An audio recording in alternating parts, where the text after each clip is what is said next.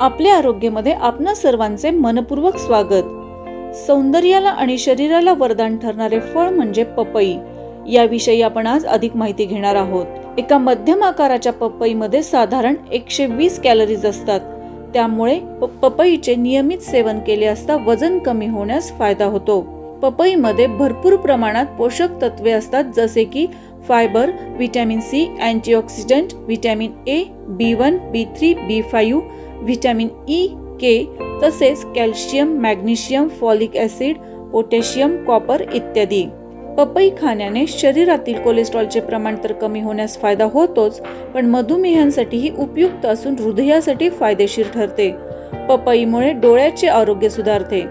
नियमित पपई खाल्ल्याने आपल्या शरीरातील चयापचय प्रक्रिया सुधारून थकावट डोकेदुखी स्मरणशक्ती कमी होणे सांधेदुखी मांसपेशीमधील वेदना इत्यादी दुष्परिणामांवर फायदे होतात.